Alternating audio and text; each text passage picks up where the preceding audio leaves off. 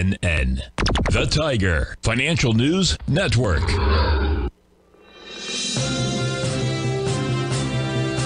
TFNN. Headline News Update. Welcome, folks. We had the Dow Industrials finished up 52, Nasdaq up 15, S&P's down one.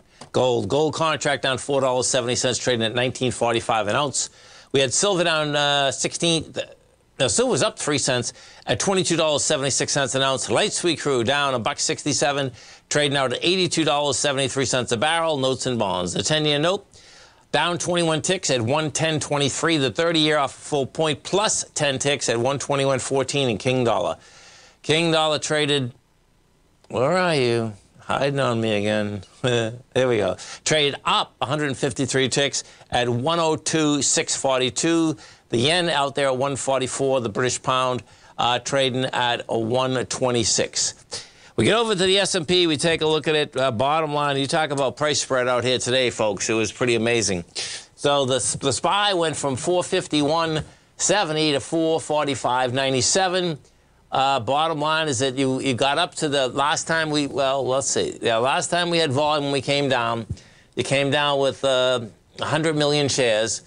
You went up to that point, almost made that point, but couldn't make it.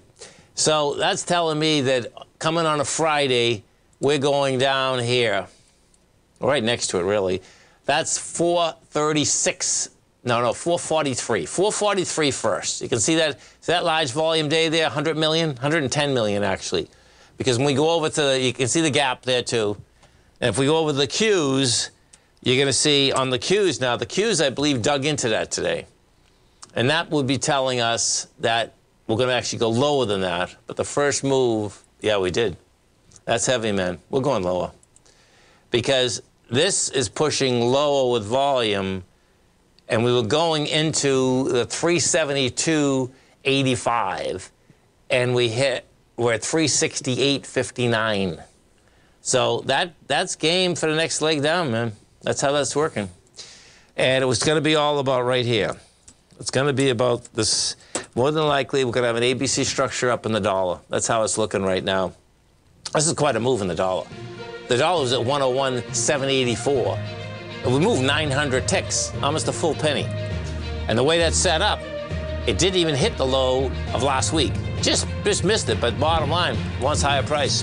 Have a great night, folks. Have a safe night. Come back and visit Tommy tomorrow morning. Kicks us off 9 a.m. Great show, folks.